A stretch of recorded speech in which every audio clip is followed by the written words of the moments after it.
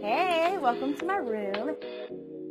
When I'm packing, I have three clothing racks that I color coordinate and also put all my pants into, my shorts, my dresses, my skirts. I individualize everything as far as my jackets, my dresses, my leggings, because I feel like for me, I'm always in a rush. When I'm going to my show and I'm going to the perfect night, I don't have much time to sit there and try to scatter through everything to see what I'm gonna wear. Usually I'll start by picking out my boots because I'm sponsored by Justin Boots and they pair perfectly with Union of Angels, which I just became the face of their company.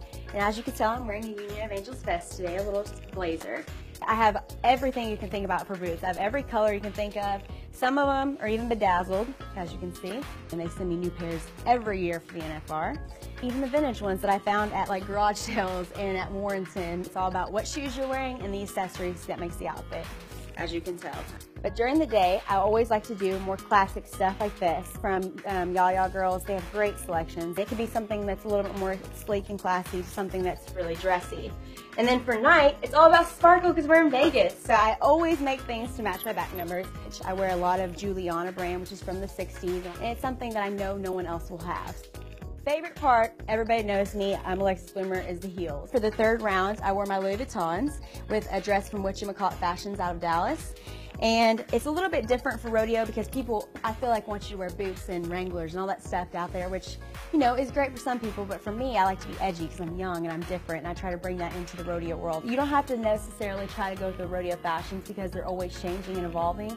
Like here, let me show you one of my favorite pieces I got for this year for the finals. I can wear my Charlie One Horse hat and it's a floppy and it makes things different and kind of spices it up, which I was so excited that someone in the rodeo world finally came up for someone that you know, I'm not necessarily a cowgirl. One of my favorite pieces this year, like I said, is from Union of Angels, and they have came out with this dress that is absolutely stunning. It's one of kind. It's coming out next season. So I got the first cut because I am the face of Union of Angels.